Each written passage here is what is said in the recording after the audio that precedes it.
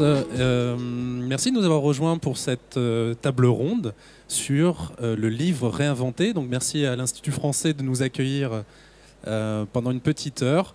je suis ravi d'avoir à mes côtés Marie Blondiot, Pierre Catan et Joris Mathieu qui vont nous parler de trois projets qui ont pour point de départ le monde de l'édition, de la littérature, de la bande dessinée. Donc d'où notre présence ici, euh, mais qui ont, euh, on va dire, mixé, hybridé, réinventé un peu ces supports originaux pour en créer des expériences euh, à, la croisée avec le théâtre, à la croisée avec le jeu, avec l'animation. et ils vont nous en parler un petit peu plus en, en, détail. Donc voilà, je pense que ça va être tout à fait intéressant de voir comment tout ce cette matière très vivante qu'on voit autour de nous peut aussi euh, s'incarner dans des formats qui sont tout à fait euh, différents, un petit peu euh, inhabituels. si vous n'en avez pas encore fait l'expérience, les trois projets sont disponibles ici, donc n'hésitez pas ensuite à aller faire un tour sur le stand de, de l'Institut français. honneur aux dames. Marie, est-ce que tu peux un peu nous présenter Sens? Tout à fait. Euh, Sens, on devrait l'appeler même euh, Sens VR. En fait, c'est un projet qui a été tiré d'une bande dessinée de Marc-Antoine Mathieu, qui est un créateur génial euh, de, de, bande dessinée et qui explore en, fait les limites graphiques de la, de la BD. Vous allez voir, ça va, c'est pas sans poser plein de questions très très intéressantes. L'histoire de Sens, c'est un homme qui suit une flèche. Il n'y a pas de mots à l'intérieur de cette BD et il suit des flèches qui prennent différentes formes et c'est une réflexion un peu à la fois très graphique et métaphysique sans aucune parole, euh, bah, je pense, sur le sens de la vie. Et on l'a adapté, on est en plein dedans. Euh, on va finir la production fin mars pour sortir le jeu fin mai. On coproduit avec, euh, avec Arte un jeu vidéo qui est inspiré de, la BD en réalité virtuelle. Ça veut dire que vous allez retrouver l'ensemble de l'univers de Sens, le personnage, euh, et vous allez devoir évoluer comme lui. J'en dis peut-être pas trop pour expliquer un peu plus tard les, différents éléments Ouais, on reviendra sur, le, donc sur Sens, hein, qui, encore une fois, est disponible là. Si vous voyez les gens qui ont un casque sur leur tête là-bas, euh, donc c'est une expérience de réalité virtuelle pour ceux qui n'en ont pas fait encore euh, l'expérience. Vraiment, euh, faites-y un tour. Donc la réalité virtuelle est quelque chose d'assez saisissant et l'adaptation en BD euh, de, sens euh, tout à fait, euh, tout passionnante. je vais ensuite demander à Pierre de faire un peu le même exercice. Pierre Catan du studio Small Bank qui va nous parler donc de Falena. Qu'est-ce que Falena? Bonsoir à tous. Alors en fait, Falena, c'est une bande défilée. C'est-à-dire que on a un roman graphique qui a été conçu pour les écrans tactiles. Et donc c'est une histoire qui, au lieu de tourner les pages, on va faire défiler une bande qui ne s'interrompt jamais et qui est donc un univers en noir et blanc. Et cette bande défilée, elle utilise euh, des, en fait, elle utilise un langage qui est à la fois un langage du film d'animation et du jeu vidéo. Et on a essayé de réunir en fait les compétences du jeu vidéo et de l'animation pour proposer une histoire qui va euh, finalement nous immerger avec une bande sonore et avec des effets de parallaxe, de profondeur de champ.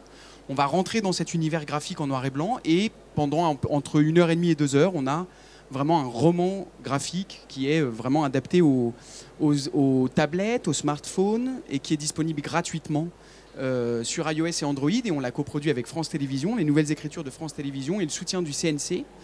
Et aussi du DICREAM, qui est une autre commission du CNC qui permet d'aider des, briques, euh, en fait des, installations artistiques. Et à côté de l'application digitale que vous pouvez télécharger gratuitement évidemment euh, euh, dès aujourd'hui. On l'a lancé au Festival d'Angoulême dernier.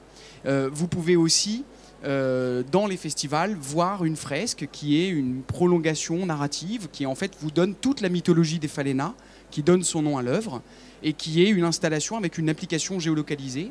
et donc voilà, c'est disponible et je pense que moi aussi on, on approfondira un peu plus, plus d'aspects plus tard. Effectivement, merci, Pierre. Euh, donc là, on a vu deux adaptations, enfin en tout cas deux travails autour de la, de la BD. Euh, Joris, ton projet est, davantage autour de la littérature, autour de, l'écriture, euh, et qui le mixe, on va dire, avec du théâtre. Alors comment ça se passe dans, dans Lire? Le lire, c'est une cabine d'immersion dans, la littérature au départ, en fait, moi, je suis metteur en scène de théâtre et directeur d'un théâtre à Lyon qui s'appelle le Théâtre Nouvelle Génération. dans notre démarche de création, on a toujours travaillé sur des romans qu'on a adaptés pour la scène avec toujours la préoccupation de traduire, euh, euh, en relief sur un plateau, plus la mécanique de la pensée d'un auteur plutôt qu'une lecture euh, particulière. On est plutôt dans l'invitation à la subjectivité, inviter le, spectateur à porter son regard sur une œuvre et à retrouver la relation intime qui est celle de la, lecture. Et puis, assez naturellement, avec mon arrivée à la direction du théâtre, le désir est apparu de d'inventer euh, dans ces lieux qui sont un peu trop souvent fermés euh, euh, au public en dehors des horaires de représentation, une installation qui ne serait ni tout à fait un espace théâtral, ni non plus une bibliothèque, mais un, espace entre deux, un cocon dans lequel on pourrait s'isoler pour découvrir des extraits de livres mis en musique, en voix et en images avec différents types. Alors là, c'est un prototype différents traitements sur chaque euh, extrait, avec vraiment une écriture qui essaye de traverser l'extrait qui, est présenté euh, de manière soit euh, directe par la présence d'un acteur holographique qui apparaît à l'intérieur d'un puissant fond de livre, puisque cette cabine est aussi une traduction d'une image de la littérature de Borges, de cette bibliothèque de Babel, soit des voilà, des, réalisations plus euh, audiovisuelles et moins euh, marquées par l'acteur et sa présence euh, au centre. Je ne vais pas rentrer davantage non plus dans, les détails, mais l'idée est vraiment d'inventer, de réinventer un type d'espace qui soit qui s'inscrirait dans les lieux publics et qui permettrait de se couper durant 5 à 8 minutes de la vie courante pour rentrer en immersion dans un monde. Merci beaucoup à tous les trois pour cette première introduction. Je vais rebondir immédiatement sur ce que tu viens de, dire, Joris, sur la, nécessité de, réinterpréter à un moment aussi, euh, ces, œuvres-là. Euh, Marie, toi qui, qui travaille donc sur une BD de, Marc-Antoine Mathieu, qui est donc un, dessinateur euh, assez prolifique et assez, on peut dire peut-être curieux, un peu décalé, voire même très décalé dans ses, dans créations. Euh, comment s'est monté le projet? Est-ce que c'est venu de lui, c'est venu de toi? Et comment il s'insère dans ce projet-là, lui qui vient plutôt d'un monde, on va dire, traditionnel, vers un format qui est tout à fait nouveau, voire expérimental? Alors, l'histoire du projet, c'est que vous avez un, concepteur interactif, un créateur interactif qui s'appelle Charles Ayatz, qui est juste ici, et qui a des idées brillantes, et qui sont notamment d'adapter la, BD. Il l'a eu entre les mains, et euh, euh, il a senti tout de suite que c'était une expérience immersive. Quand vous regarderez le livre qui est euh, posé sur le stand, vous comprendrez que ça se prête totalement à une expérience de réalité virtuelle. C'était en avril dernier, et on a avancé très vite en un an. Parce qu'on a dû tout découvrir en même temps. L'adaptation d'une BD comme celle-là dans un, environnement pour lequel elle n'est pas faite, euh, c'est un, gros travail pour lequel il y a besoin de à la fois beaucoup de bienveillance et de, et. Euh, par bienveillance, j'entends que Arte aussi, en ayant le bouquin entre les mains, s'est dit allons-y et on avait le projet qui commençait à être conçu. Il y a eu le CNC aussi, sous différentes manières, le fonds d'aide aux jeux vidéo et le DICREAM. Et en gros, on a eu de quoi développer le premier projet dont la difficulté était essentiellement dans l'écriture, parce que vous avez le fil de la bande dessinée qui suit sa propre histoire, qui est linéaire, et il faut inventer la possibilité pour un joueur d'intervenir à l'intérieur. Et ça, ça change tout. C'est-à-dire qu'on a reposé à plat le scénario, et la grande chance qu'on a eue, c'est que Marc-Antoine euh, a été fou du projet euh, euh, quand il en a entendu parler. Lui-même travaille beaucoup sur des expériences graphiques et scénographiques ce, qui est, très très loin d'être inutile. Et il nous accompagne depuis le début, euh, notamment pour suivre le bon fil euh, de la BD, c'est-à-dire ne jamais rompre sa philosophie en le transformant dans un jeu vidéo, euh, entre guillemets, avec ses codes traditionnels. et il nous a aidé à en, garder l'esprit à tout moment. ça, c'est le début de l'histoire. Ensuite, il y a eu énormément de difficultés à lever technologiquement. la première, c'est par exemple dans, une BD, naturellement, vous avez un dessin. C'est le dessin de Marc-Antoine qui n'est pas tout à fait droit, mais qui, à l'intérieur des pages, reste de la même taille. Vous faites ça dans un environnement de 3D. En fait, si vous dessinez un trait à un endroit, si vous vous approchez du trait, eh ben, il grossit. Et le but du jeu pour garder l'esprit de la BD et éviter ce genre de choses, c'était de rester avec un trait à ligne constante. Et ça, en soi, c'est un développement technologique à faire. Et par ailleurs, j'ajoute juste ça pour ne pas être trop long, mais il y avait à la fois garder l'esprit, garder le graphisme, mais j'ai envie de dire aussi utiliser toutes les possibilités de ces expériences immersives qui peuvent vous mener très loin. C'est-à-dire que pendant quelque chose comme 30 minutes, vous êtes en dialogue avec un univers et il faut pouvoir intégrer une narration avec ses hauts, ses moments de creux, ses moments un peu plus vides. Et ça, ça doit se faire avec un, une, comment dire, il faut, il faut réussir à s'approprier la BD sans la trahir en fait. Au final, le scénario n'est pas exactement le même, c'est-à-dire qu'on a gardé une forme de, linéarité, on y était un petit peu obligé. Vous n'avez pas un univers qui s'ouvre avec mille combinaisons, il faut suivre un fil, faire les bonnes interactions, mais on a changé à plein d'endroits. Euh, euh, pour que ça marche dans trois chapitres, que ça lasse pas le, joueur euh, pendant 30 minutes non-stop. Il a fallu le séquencer et avoir des moments de, top, de climax à la fin de chaque chapitre et reprendre au début du deuxième, du deuxième et du troisième chapitre avec une nouvelle, une nouvelle atmosphère et un nouveau pari pour pas lasser le joueur. Voilà en gros en quoi a consisté la progression et le développement du projet. Alors sur un, autre support, mais je pense avec la même nécessité de ne pas trahir aussi les œuvres originales, Joris, quand tu euh, dois justement, euh, j'imagine, euh, pas forcément réécrire, mais en tout cas trouver la bonne interprétation des textes.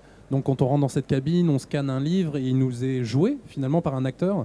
Comment se passe à la fois la sélection des œuvres Pourquoi ces œuvres-là ont été choisies? Est-ce qu'il y a, on va dire, une ligne éditoriale dans, dans la cabine? Et après, comment on arrive à rendre un quelque chose à un moment qui ne, justement qui ne trahit pas les œuvres originales? On n'est pas tout à fait dans le, même cas de, figure parce que là on est vraiment sur des logiques d'extrait et que l'enjeu est davantage de, d'inciter ou de donner envie ou de, ou de promouvoir euh, l'idée de, de, faire l'expérience par soi-même de la lecture. Euh, que tu décrivais à l'instant, je le retrouve davantage dans une approche théâtrale de l'adaptation globale d'un roman, où euh, plutôt que la question stricte d'être fidèle euh, à l'œuvre, il est vraiment question de euh, permettre aux, spectateurs, et là j'imagine à, celui qui traverse le, jeu, de se retrouver dans une position active où euh, lui-même produit du sens et de la pensée, où on ne vient pas euh, juste euh, expliciter ou rendre universelle une lecture de l'œuvre. C'est ça qui est quand même important. Là, dans la logique d'extrait, on est déjà dans quelque chose d'extrêmement réducteur. La problématique était davantage comment permettre de percevoir la dimension d'une œuvre quand on est sur un extrait court. Je prends un exemple, dans la bibliothèque, on a un extrait de La Conjuration des imbéciles. Euh, qui est un roman qui me passionne, euh, mais qui a cette caractéristique de nous mettre en, de nous donner envie de suivre le parcours d'un personnage qui est hautement antipathique, euh, mais dont, avec lequel on finit par entrer en connivence par par un cynisme et un humour que l'on vient à partager avec lui. Mais ça s'inscrit dans la durée. C'est un humour qui se construit dans la durée.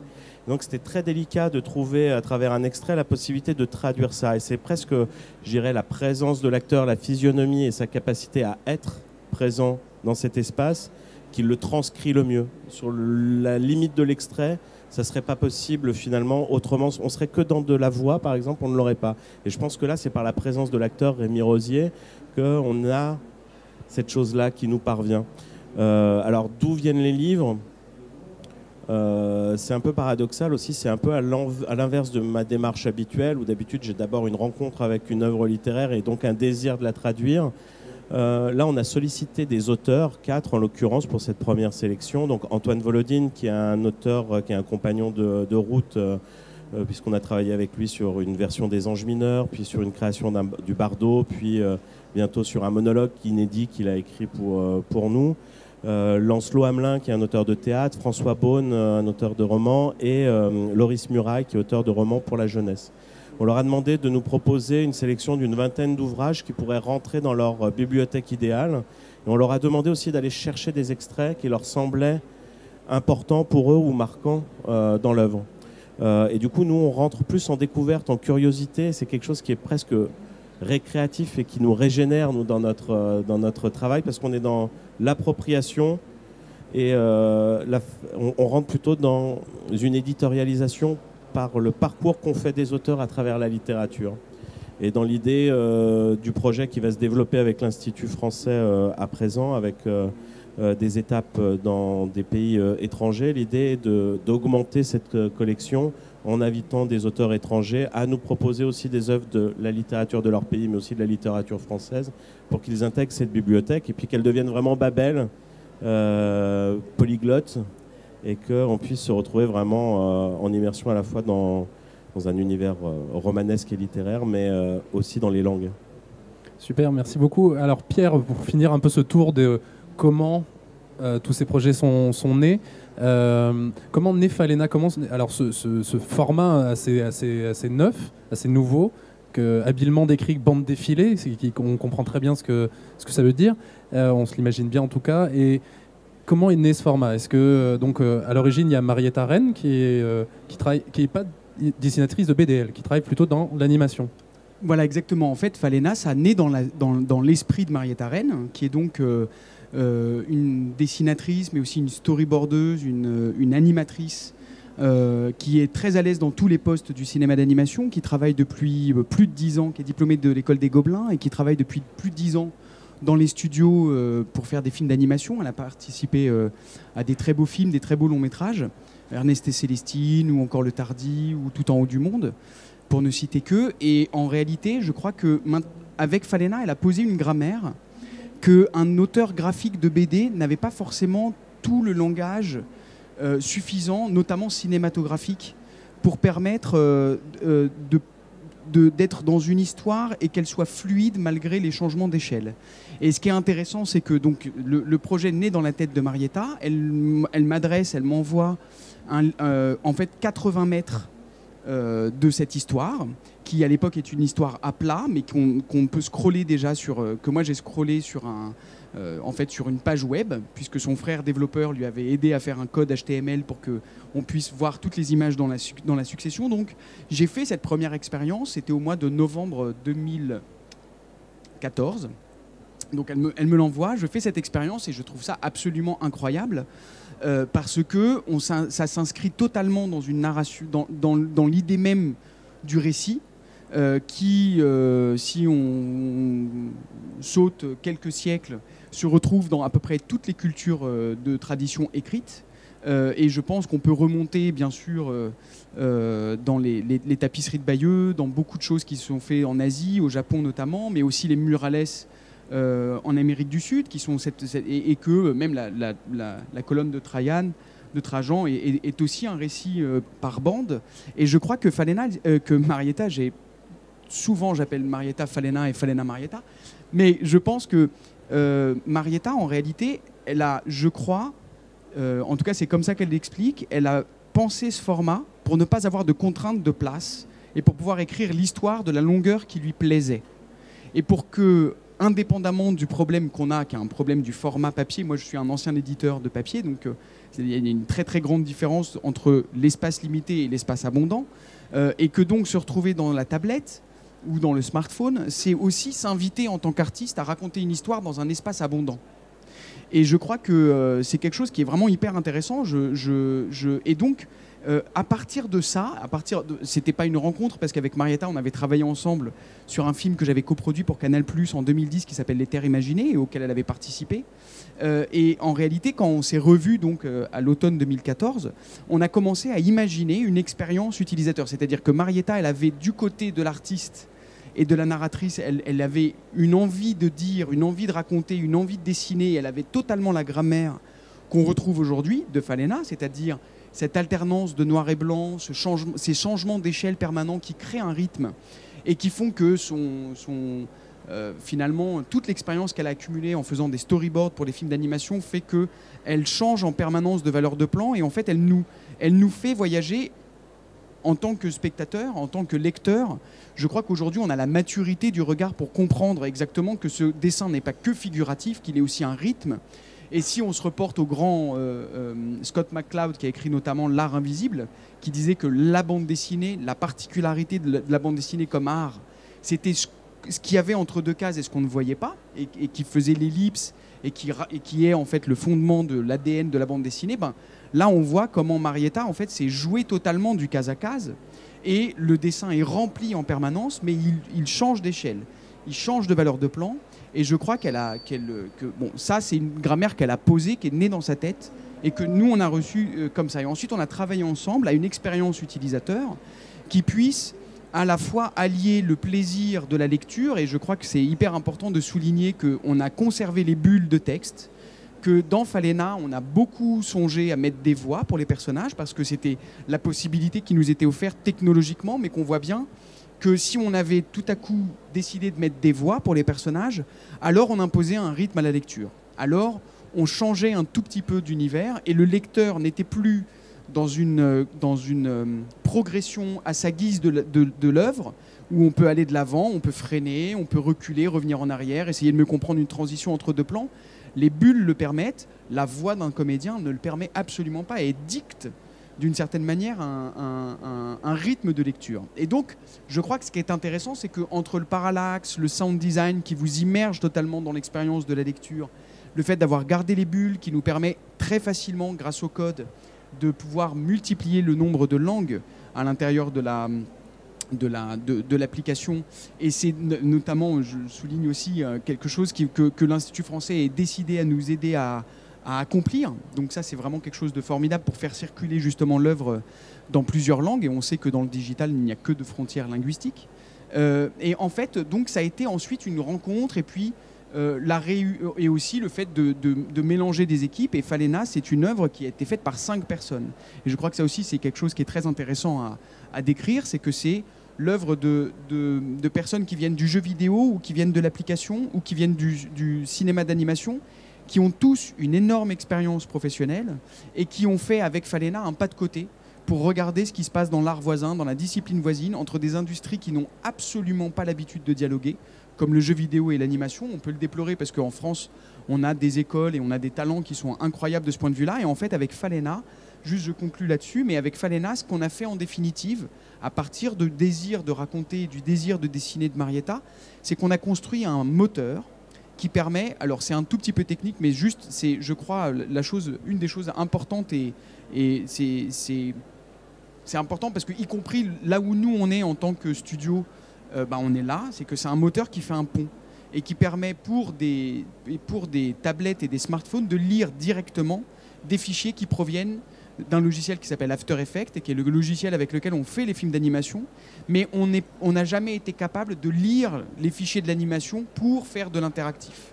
Et donc là, ce qui est intéressant avec le moteur qu'on a développé, que Christophe Da Silva a développé euh, euh, pour Falena, c'est qu'on a développé une liseuse d'After Effects. Et donc on a créé un lien, un, un outil qui est le dialogue entre l'interaction et l'animation.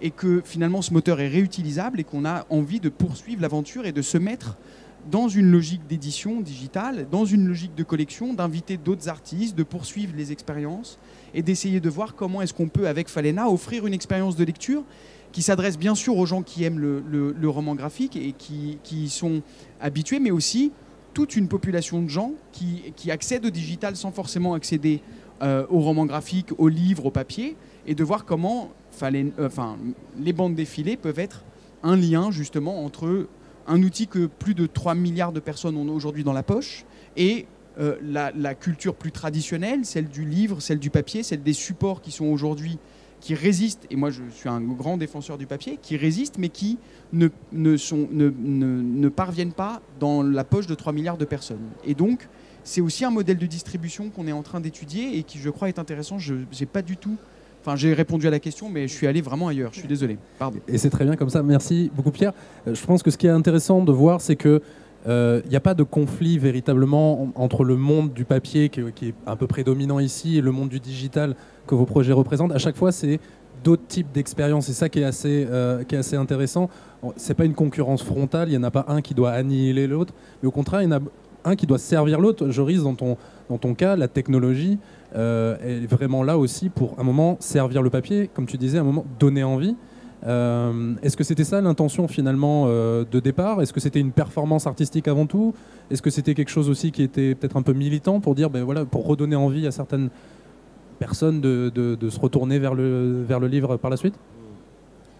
Alors, D'abord, c'est un amusement. La première, la première chose, c'est, comme souvent dans un projet, c'est qui, qui là est né sur un coup de tête et qu'on a réalisé en six mois qu'avec des ressources internes euh, de gens qui viennent du théâtre, mais qui ont. euh, qui euh, viennent avant du frénois, de, l'art contemporain ou de la programmation, de l'art vidéo, et qui cohabitent avec moi dans, la, compagnie.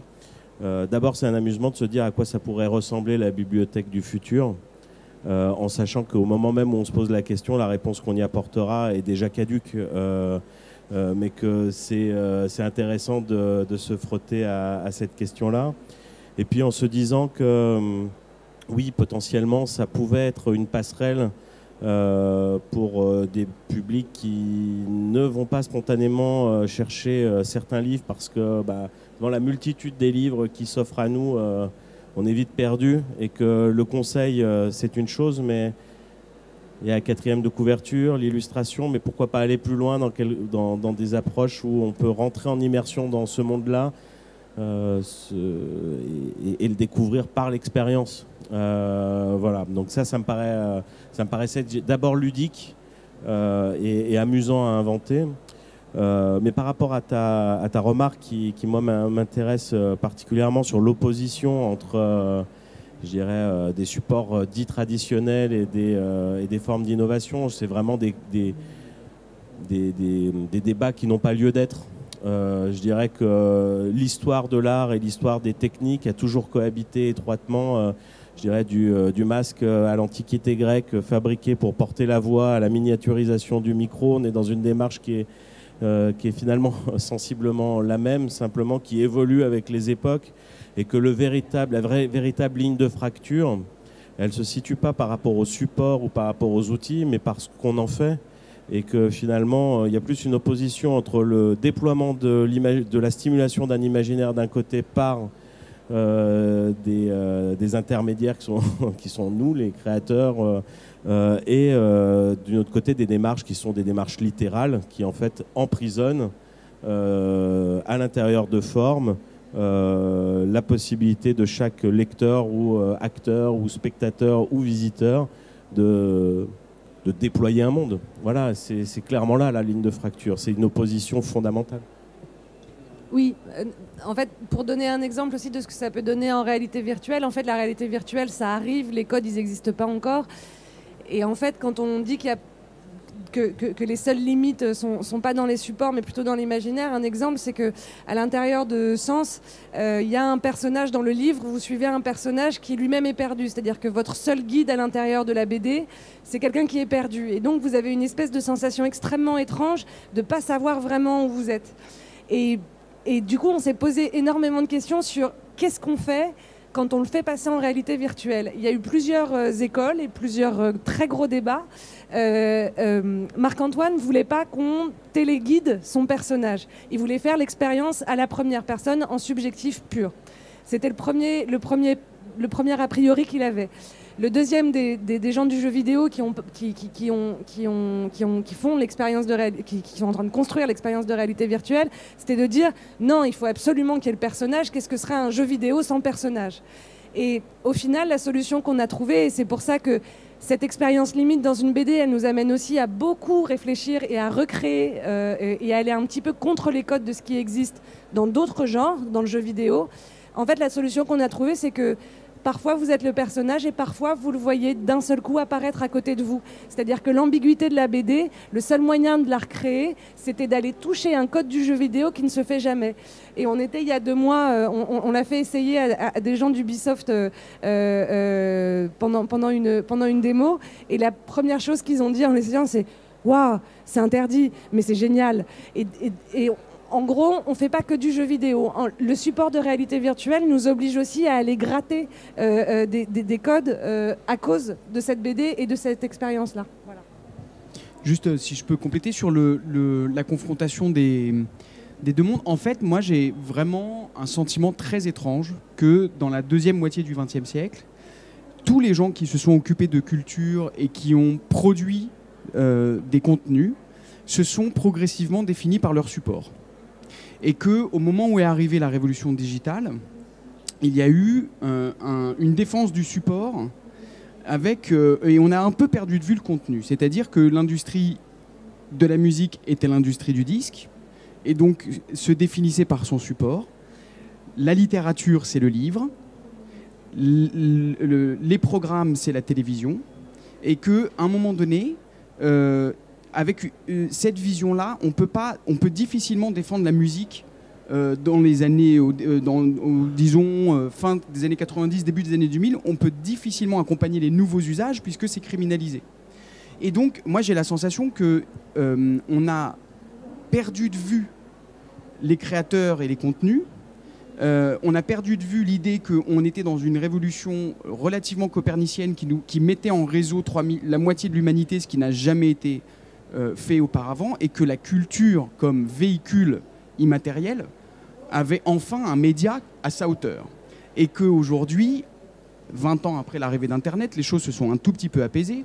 Euh, Il y a des problèmes de redistribution de droits d'auteur qui sont majeurs, mais quand même, aujourd'hui, beaucoup de gens euh, accèdent à des bibliothèques gigantesques de musique, des bibliothèques gigantesques de livres, des bibliothèques gigantesques de films de cinéma, euh, et que euh, euh, il y a encore, moi quand moi j'avais euh, 15 ans, on apprenait avec Bourdieu qu'on était déterminé dans notre position sociale en fonction de, euh, de, de- de plein déterminisme. Je suis complètement hors sujet. Je vois deux trois personnes qui me regardent en disant mais de quoi il parle? Je suis inquiète. non mais voilà, je crois qu'on est un poil moins déterminé, qu'on est dans une logique d'accès à la culture et que nous on a envie de l'accompagner et qu'il n'y a pas de... Il y a juste, il y a juste, la, il y a juste les li- la littérature, la musique, le cinéma, et ça durera toujours. Il y en aura toujours, et on sera toujours là pour en faire et pour en, voilà, pour en produire. Je pense que c'est important, quoi. Mais pas sans micro. Pas sans micro.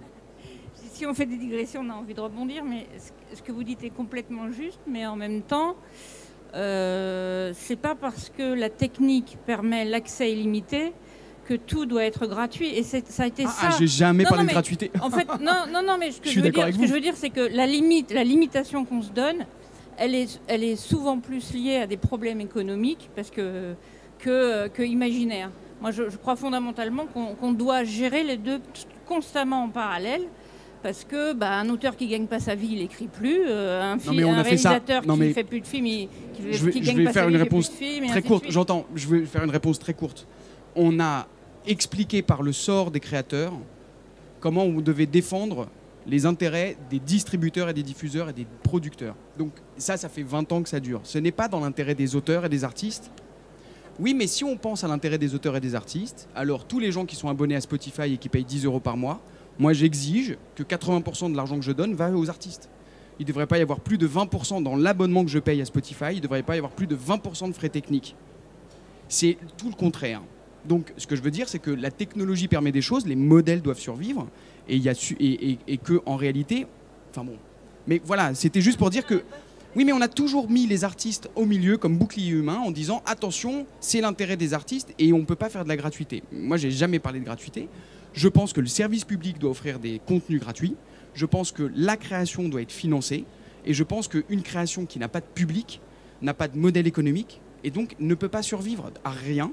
Et que, à part le street art qui est de la culture gratuite dans la rue qu'on continue aujourd'hui de recouvrir de peinture, à part ce genre de forme très libre et très spontanée, il faut une économie à la culture. Mais bon, mais c'était pas exactement ce mais je- je- j'entends ce que vous dites, mais je, pense qu'on n'en est plus tout à fait là. C'est-à-dire que si, c'est c'est pas pour défendre les artistes qu'on préserve un modèle antérieur, c'est pour défendre les intérêts des gens qui, qui profitent de ce modèle. Et c'était pas les artistes. Et aujourd'hui, on essaye de défendre des nouveaux modèles. Et en défendant des nouveaux modèles, je pense qu'il faut qu'on soit tous mobilisés pour défendre le fait que dans le- le- dans l'argent qui circule dans la culture, il y en ait plus qui aille aux créateurs, tout simplement. Et je le dis en tant que producteur. hein. Je... Voilà. Il faut aller chez Pierre. Mais oui, venez. Venez. Alors bah, justement, on va mettre ça un peu, à, on va mettre ça un petit peu à l'épreuve. Donc Falena est gratuit euh, parce que soutenu par le service public et par divers aussi euh, mécanismes de financement euh, privés, euh, publics, pardon, dont, euh, voilà, dont le CNC, dont on vient de parler, etc. Est-ce que Falena, euh, une fois dépassé cette première sortie, peut pas aussi devenir un format qui, là, pourrait avoir une existence? Parce que c'est sûr que c'est assez difficile de commercialiser euh, quelque chose sur, le, sur Internet. Un site web, c'est difficile de faire passer les gens à l'acte, mais sur nos mobiles et nos tablettes, on a quand même une grande facilité à passer à l'achat. Je pense que pour Sens, c'est pareil. Il y aura des, il y a des, des magasins en ligne d'applications. Voilà, Sens sera payant, très bien. Euh, En grande partie. on pourrait imaginer qu'à la sortie de Lire, il y ait euh, une librairie qui nous vende le livre qu'on vient de. Voilà. Il y a, sur ces formats-là, il y a des modèles économiques euh, possibles. Euh, Est-ce que sur Falena, c'est une réflexion que toi tu te poses en tant que producteur, justement, de, à un moment de capitaliser sur cette première expérience? Complètement. Je pense que la première expérience, on a voulu qu'elle soit gratuite parce que ça fait complètement partie des missions de service public. Euh, et que c'est un financement à 100% public, c'est que des fonds publics, Falena. Et que c'est un financement qui permet de faire cette œuvre dans des conditions euh, normales. Et ça, c'est vraiment quelque chose de formidable. Mais je crois que le progrès, c'est que euh, on peut. Moi, je pense qu'il faut que ce soit payant pour, les prochains épisodes. Et je pense que la bonne évolution, c'est que, ça coûte beaucoup moins cher pour un utilisateur. À l'unité, une œuvre. Et que, en fait, avec cette démocratisation des prix, on puisse arriver à, en fait, distribuer plus massivement les œuvres et qu'en fait, on, élargisse les bassins d'audience, ce qui permet en fait de vendre beaucoup plus d'œuvres di- digitalement. Euh, et de, mais qu'elles soient accessibles à des prix bien moins importants que dans l'univers physique, disons. Voilà. Et donc, tu disais, Marie, que Sens sera, sera payant. Euh, peut-être que Sens bénéficie aussi peut-être de, que- de quelque chose que euh, Falena, qui a du, texte qu'il faut traduire, ou que des, des œuvres littéraires qui sont interprétées sont dans une Dans le sens, il n'y a, pas de- il y a, pas de- il y a pas de langue, il n'y a pas de... y a pas de Tout à fait. Et ça, c'est peut-être un potentiel qui est assez intéressant, justement, aussi en termes de, de distribution d'une œuvre. Mais le raisonnement sur la distribution, en fait, pour être très précis, euh, Sens va être disponible. Il y a trois chapitres à l'intérieur. Le premier chapitre de Sens en version mobile sera gratuit. Après, on a une problématique qui est assez intéressante, c'est que c'est difficile d'exister sur ces nouveaux supports euh, en mode purement gratuit, bizarrement. C'est-à-dire que euh, la remontée à l'intérieur des, référencements sur les plateformes, etc., ça ne se fait pas simplement. Et que quelque part, euh, le mode payant, pourvu que, parce qu'on est financé par le service public, on puisse offrir une, bonne partie de l'expérience en mode gratuit, on puisse aussi exister comme un, modèle parmi d'autres, précisément pour des raisons de marketing aussi. C'est-à-dire que l'idée, je pense qu'on on- on ne gagnera pas beaucoup d'argent avec Sens, voire pas du tout, c'est très possible, euh, parce que le format en réalité virtuelle, sur des plateformes de réalité virtuelle, on ne sait pas encore comment ça marche, mais le fait d'être payant nous donne aussi en gros une crédibilité et une, une forme qui correspond aux autres sur le marché et qu'il faut s'aligner aussi. C'est pas seulement, euh, euh, c'est pas une position de principe. C'est aussi une question de réalisme, euh, de, de réalisme en termes de marketing. Voilà. Alors que le lire est conçu complètement sur un, autre modèle, mais parce qu'il vient d'un autre circuit, c'est-à-dire que venant euh, du théâtre public, dirigeant un centre dramatique national, finalement le modèle économique sur le prototype a été d'être construit sur euh, avec de l'argent pub 100% d'argent public euh, par le biais des subventions et aussi finalement par le retour sur les productions antérieures de la compagnie qui ont permis d'investir dans la fabrication d'un prototype. Euh, et dans sa diffusion actuelle, euh, on est dans quelque chose qui, euh, qui n'a pas vocation à être développé de manière, je dirais, industrielle, dans la mesure où on n'est pas dans notre champ, nous, de, de compétences, euh, concrètement. C'est-à-dire qu'on ne produit pas ça de la même manière si, ça, si on le produit dans une logique euh, de théâtre public ou dans une logique d'entrepreneuriat start-up. Euh, ça serait construit sur d'autres modèles et avec d'autres logiques. Aujourd'hui, pour produire euh, euh, sept euh, extraits de livres, il faut une semaine de travail avec des coûts qui seraient forcément normés différemment si on voulait rentrer dans une logique de rentabilité. Donc les enjeux économiques aujourd'hui sont un peu différents. Euh, offrir un service public et essayer de le diffuser un peu plus largement en multipliant euh, les cabines, mais avec une activité qui permet simplement de rentrer euh, dans, les frais de, fabrication et de générer un, tout petit peu de recettes qui permettent de produire les nouveaux contenus ou les futures productions du centre dramatique. Mais on n'est pas du tout dans une logique de, de je dirais, de, d'entreprise privée euh, sur ce, ce, modèle. Non, juste si je pouvais rajouter quelque chose sur Falena, je pense que c'est important par rapport aux deux époques qui sont en train de coexister avec un, monde qui tarde un peu à émerger. Euh, que dans Falena, en fait, on s'est retrouvé autour de la table avec Boris Razon, qui à l'époque était directeur des Nouvelles Écritures, avec Ségolène Zog, qui est ici au premier rang et qui a suivi tout le projet du côté des Nouvelles Écritures, euh, moi et notamment Marietta, on était tous d'anciens éditeurs. C'est-à-dire qu'on venait tous de l'écrit et on venait tous du papier. Et euh, par rapport à ça, je crois que c'est aussi intéressant de voir qu'on a aussi des trajectoires de vie euh, où les choses ne s'opposent pas, elles sont au contraire hyper fluides. Et je pense que, enfin voilà, je voulais juste ajouter ça et dire que en fait, on, explore aussi des formes à partir de passions qu'on a, qui nous animent et qui sont euh, les, voilà, les contenus culturels. C'est euh, toujours pour moi passionnant de voir comment, avec trois projets sur le papier extrêmement différents, enfin, je pense que si on, les, on en fait l'expérience euh, distincte, il n'y a aucun point commun à première vue, mais en fait, il n'y a que des points communs. je pense dans la manière d'aborder aussi une certaine mission, à la fois de service public, mais un service public qui peut nourrir aussi tout un écosystème qui est beaucoup plus durable. Je trouve ça extrêmement intéressant. Et surtout, dans la manière dont chacun de vos projets a permis aussi de croiser comme ça un certain nombre de, disciplines et de savoir-faire. Et ça qui est extrêmement intéressant. Est-ce que pour vous, finalement, je vais poser une question super large, c'est plus pour vous laisser faire un petit freestyle, histoire de finir et avant de laisser des, des questions, mais une question très large. Est-ce que finalement, la réinvention de tout ce monde qui est autour de nous, et non pas sa disparition, c'est-à-dire sa persistance et en même temps sa réinvention, passe par ces croisements-là avec d'autres arts, avec d'autres disciplines, parce que maintenant on a cette espèce de plateforme centrale qui est Internet, qui est le numérique, qui permet cette convergence-là. Est-ce que pour vous, c'est une direction qui vous a, en l'empruntant, suffisamment convaincu pour vous dire qu'il y a un futur là-dedans? C'est une question très ouverte et très, très gentille, hein, mais qui veut se frotter à ça? Euh, non, enfin, pour faire, euh, pour faire très court, en fait, j'ai juste l'impression que. Hum, en fait, cette question de la disparition du monde du livre, euh, cette question de l'obsolescence des supports, etc., c'est une tellement fausse question et elle est totalement aplanie quand on est dans des démarches créatives, en fait.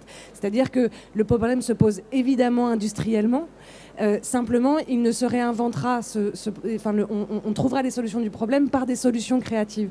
Et on a la grande chance, et je pense qu'on est très privilégié là-dedans, euh, de pouvoir euh, hybrider ça et, ça devrait même pas être, c'est même pas une position de principe.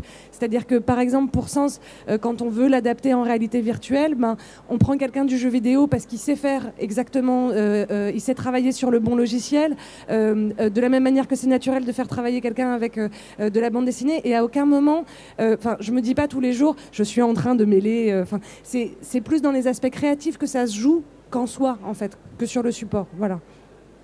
Puis cette, euh, mutation, cette transgression des usages immédiats et directs ou des, euh, disciplines euh, fermées sur ML est, même salutaire dans la mesure où, je veux dire, cet environnement, il existe, il est là, il est partout. il y a une urgence à s'en saisir pour produire du contenu, c'est-à-dire qu'on est, est en responsabilité de devenir auteur et individuellement acteur du monde que l'on veut construire. Euh, on ne peut pas voir apparaître un environnement qui a aussi d'autres destinations que des destinations créatives euh, et le laisser euh, nous englober sans le détourner, le transformer et l'amener à jouer notre, à nous, à nous, alimenter dans ce qui est notre rôle d'humain, c'est-à-dire être des, des, joueurs qui nous emparons des outils qu'on nous donne pour les transformer, les détourner et en inventer d'autres. L'humanité ne s'est construite que par ces révolutions-là qui sont pourquoi un jour on s'est retrouvé, euh, pourquoi on se retrouve avec des grues en train de continuer à construire des choses et puis inventer des nouvelles techniques pour construire, c'est que on n'est jamais à satiété de ça, de cette invention et de cette envie de jouer euh, notre rôle d'humain dans un environnement euh, d'outils que l'on fabrique nous-mêmes et des fois dont on découvre euh, l'utilité après l'avoir inventé. Je vais, je vais me risquer un parallèle, euh, une métaphore. Admettons qu'on a une partition et que cette partition, c'est l'histoire qu'on veut raconter. Et que en réalité, ce qu'on fait nous, c'est qu'on décide des instruments de l'orchestration. Et que euh, qui peut dire que la musique c'est le piano? Qui peut dire que la musique c'est l'orchestre de chambre, l'orchestre symphonique ou un ordinateur? En réalité, la musique c'est la musique. Et du coup, quand on, se déplace, quand, on choisit des nouveaux instruments, quand on décide de raconter des histoires avec des, nou- de- des nouvelles façons, et que en réalité, je crois que euh, c'est assez commun aux trois projets, on est dans un travail de médiation culturelle aussi, et je pense que c'est important de le dire. Euh, euh, le, problème d'une certaine littérature, c'est qu'elle n'est pas assez lue. Euh, et à côté de, ce problème de rareté de public, on a le phénomène de l'auto-édition que je vous invite tous à absolument euh, suivre, qui est formidable. Il y a eu l'année dernière plus de 87 000 ouvrages entiers qui ont été écrits sur les plateformes d'auto-édition et qui sont en réalité aujourd'hui une manière pour les lecteurs, les écrivains, les fans des écrivains, lecteurs qui deviennent à leur tour auteurs, euh, de finalement se plonger dans des, dans des univers de narration. C'est pas moins des livres que les livres dont ils sont tirés, et je crois ne pas dire une bêtise en disant que Fifty Shades of Grey, euh, 50 nuances de noir, c'est un fan art de Castle. Non, j'ai dit une bêtise. De gris. C'est une, oui, parce que je suis sur un projet sur les nuances de noir en ce moment, pardon. Non, c'est sur les 50 nuances de gris, je crois que c'est une, fa- une fanfiction. Je crois que c'est à partir de Castle. De Twilight, merci. J'ai dit Castle, mais je me suis trompé. Merci beaucoup, Camille. Et du coup, euh, c'est de la recréation. Et en fait, quel que soit le langage qu'on utilise aujourd'hui, ce qui est formidable, c'est que les gens, on est dans un âge de la créativité. Oui, sans doute, euh, il n'y a pas plus d'artistes aujourd'hui qu'hier. C'est pas du tout la question de ça. Par contre, les spectateurs, les lecteurs, les joueurs, tous les gens qui étaient dans une position de passivité par rapport à la culture, on, a pu depuis 20 ans euh, se mettre dans une attitude de créativité dans notre manière de rencontrer les contenus. Et je crois que ça, c'est le, grand changement, il est là, la distribution et la créativité et le fan art en général, qui en fait fait que tout beaucoup, beaucoup, beaucoup de gens transcendent et subliment leur amour de la culture en étant eux-mêmes dans une position de créer. Et ça, je trouve que c'est chouette. Et que ça ne veut pas dire qu'on est tous des artistes, mais que, à minima, on est tous des créateurs. Et euh, voilà. Juste par rapport au rebondir sur ce que tu disais, mais je pense qu'aussi quelque chose qui est commun dans ce que j'entends, en tout cas de, ce que vous racontez de, l'expérience d'écriture, euh, c'est qu'aucun euh, d'entre nous euh, ici présents ne peut considérer que euh, on devient acteur juste parce qu'on est dans des principes d'immersion technologique. En fait, l'immersion, quelle qu'elle soit la forme qu'elle prend, elle n'est réellement effective que lorsque l'on convoque, alors nous ce qu'on appelle en théâtre une dramaturgie, mais d'autres utilisent d'autres termes, une relation entre celui qui est dedans et l'espace qui l'environne et la narration qui se construit. Et que finalement c'est là l'enjeu d'écriture et que ces outils qu'on qu'on convie ou qui se croisent ou qui se combinent euh, émergent. Comment de, de- ça- on voit commencer à émerger cette conscience-là de l'écriture à travers ces outils qui, on a mis un certain temps aussi à apprivoiser. En fait, aussi, euh, c'est une nouvelle génération d'écriture. Merci beaucoup. Alors, on a un petit peu de temps pour prendre des questions, si vous en avez. Vu qu'on est à deux mètres euh, les uns des autres, je pense que c'est le bon moment de le faire. Est-ce que vous avez des petites questions pour nos intervenants et intervenantes? Bonjour, euh, c'est pas vraiment une question, mais c'est plus aussi euh, pour apporter en plus. Euh, c'est par rapport aux créateurs. Euh, le fait de pouvoir passer d'un médium à un autre, il faut aussi prendre en compte euh, les outils qu'on utilise. Moi, je pense par rapport à Falaina, quand on dessine euh, sur palette graphique, sur Photoshop, on sait qu'on peut l'imprimer. On sait qu'on peut l'animer, en faire des gifs animés, on sait qu'on peut en faire de l'animation.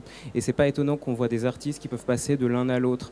Et c'est là où c'est important que les éditeurs, les producteurs en prennent compte qu'un auteur euh, peut avoir envie de passer euh, d'un d'un médium à un autre. Et c'est aussi, bah aussi parce qu'on se nourrit culturellement, hein, pour revenir à, à ce que vous dites. Et que justement, c'est important qu'il y ait des initiatives pour qu'il y ait des nouveaux médiums. Parce que je pense que les gens qui créent ont des envies. Mais après, il faut pouvoir entrer dans les cases des éditeurs ou des choses comme ça. Voilà. Merci. Est-ce que vous avez une réaction euh, par rapport à ça? J'ai une question bonus pour toi, Pierre. Est-ce que ça a été dans les envies, justement, euh, de, de, de l'auteur avec un E, euh, ou l'autrice, je sais pas comment on dit, euh, de, peux dire l'autrice, c'est l'autrice, voilà, Oui. euh, de porter Falena en livre papier Enfin, en version Ah, J'adore ta question parce que ça me permet de faire une réponse hyper vraie. Il y a une envie de le porter en papier. Après, quel format c'est ouais. Moi, je voulais qu'on le fasse tricoter dans le Larzac par des mamies. Genre, tout Falena, ça fait un kilomètre et demi, l'application. hein. Donc, moi, c'est ça mon objectif. C'est un tricot collaboratif gigantesque. Ensuite, je crois, Marietta a très envie qu'on le reporte sur du papier un jour. Avec Ségolène, on a imaginé plein de, possibilités et on aimerait associer le public très directement euh, à ces choix-là. Et donc, euh, la, question du papier ne se pose pas. Je pense qu'elle qu'elle est déjà en fresque et, Falena euh, continuera de surgir dans le monde matériel. Euh, mais je ne sais pas si ce sera un livre ou autre chose, mais c'est un objet euh, qui sera euh, qu'on essaiera de, de- de- à- à- auquel on essaiera de donner la forme la plus idoine pour qu'elle corresponde à, à- en tout cas au récit qu'on que, que Marietta porte. Un objet imprimé encore non identifié. On verra. Exactement, un objet imprimé non identifié, un, un oigny. Un oigny, c'est très, moche comme mot. Mais euh, voilà. Ouais, mais tu vas voir, c'est super beau, c'est super classe. tu voudras euh, acheter du oigny. Ouais. Une autre question Ouais. Bonsoir, moi je voulais vous dire merci euh, parce qu'il y a deux ans j'ai fait un mémoire sur les nouvelles écritures et il n'y avait pas grand chose de vraiment très très intéressant et je suis déçue que vous n'ayez pas fait ça à ce moment-là, ça aurait été vachement utile. Bah, en fait, il y a deux ans, on faisait des projets beaucoup moins bien. Désolé. Mais, Parce qu'on faisait des projets déjà il y a deux ans ensemble. mais, euh, bah, moi du coup je me suis mise à faire ce genre de projet, à me rendre compte qu'il y a, il y a aussi beaucoup d'auteurs qui aimeraient et qui savent pas comment, ce qu'on peut faire, tout ça. Moi j'ai une formation multimédia et euh, en fait on peut les accompagner, ils ont envie, ils savent juste pas quoi faire. Et euh, bah, du coup, euh, je suis dans la même démarche que vous et merci juste de nous partager vos, expériences parce que c'est super intéressant. Après, dans les, timings, dans les timings de, production, etc., il y a, y a peut-être aussi des choses à raconter. C'est qu'il y a, hum, en fait, notre difficulté, c'est pas tant d'hybrider des choses parce qu'on le fait assez naturellement. C'est plutôt que le projet qui prend, c'est des projets qui prennent du temps, qui sont, qui, demandent des développements, des temps de développement, d'écriture et de réflexion qui, qui sont incompressibles parce que sinon on fait pas le même métier. Et, et- ce qui se passe, c'est que moi, par exemple, la réalité virtuelle, on, vient, on va sortir en mai euh, pour trois versions de casque. Et ben, il y a un quatrième qui va rentrer sur le marché. Le quatrième, il demande une, re- une refonte totale du projet parce qu'il y a des nouvelles fonctionnalités. Vous allez être dans une pièce de 10 mètres carrés au lieu d'être euh, de tourner sur vous-même à l'intérieur du casque. Il faut aussi qu'on réponde et qu'on réponde très vite à ça. Et, hum, ce qui est hyper intéressant, et on s'est fait la réflexion euh, euh, un peu en fin de projet, c'est que finalement, on explorait l'univers créatif de ce livre qu'est Sens. On, explore cet univers avec tous les outils qu'on a et qui sont intéressants, en fait. Et hum, on va ressortir une version du projet et ce sera une nouvelle réponse créative au même univers, en fait. Merci beaucoup. Une autre question? Non Si? Oui Non Ok. Eh bien, merci à tous. Merci Joris, merci Marie, merci Pierre.